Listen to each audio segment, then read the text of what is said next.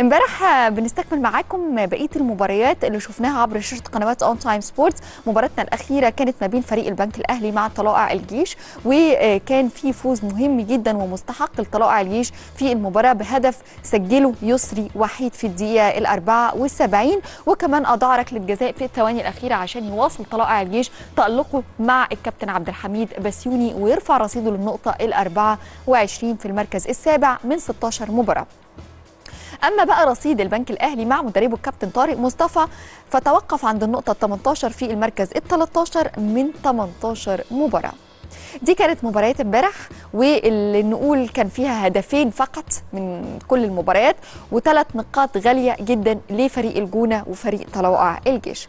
ماتشات النهارده عندنا إيه عبر شاشة قنوات اون تايم سبورتس عندنا في الأسبوع ال 18 بنستكمل معاكم باقي المباريات ثلاث مباريات هتبتدي الساعة الرابعة عصرا أول مواجهة ما بين فريق سيراميكا كليوباترا الاتحاد السكندري.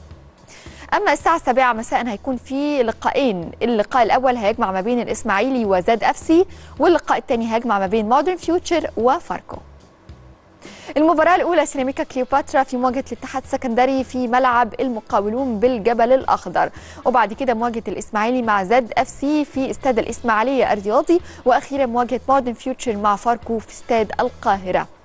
المباراة الأولى سيراميكا والاتحاد مواجهة نقول عليها شبه متكافئة ما بين اثنين مدربين مميزين جدا. الكابتن أيمن الرمادي اللي واصل لحتة كويسة قوي مع فريق سيراميكا. خلاص اللعيبة بقت فاهماه بقى في كيمياء بقى في أداء بقى في نتيجة عالية جدا. الكابتن طارق العشري مع الاتحاد واللي يمكن يكون في إخفاق خلال الفترات اللي فاتت ولكن الاثنين محتاجين يحققوا الفوز لتحسين وضعيتهم في جدول الدوري خصوصا الاتحاد السكندري معاه 27 نقطة وكان خسر من نادي الزمالك ويمكن أكيد عايز يعوض الخسارة دي. النهارده هيبقى عنده فرصة كبيرة جدا في المشاركة في بطولة الكونفدرالية الإفريقية لو اجتهد وركز خلال الفترات الأخيرة من المباريات القادمة.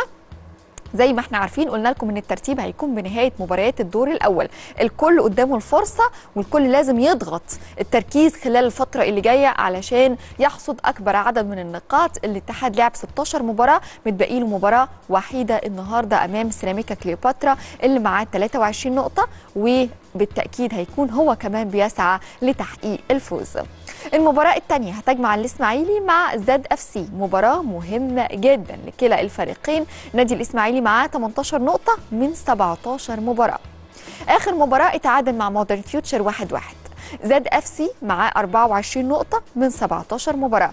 آخر مباراة خسر من النادي الأهلي بهدف في الثواني الأخيرة سجله وسام أبو علي.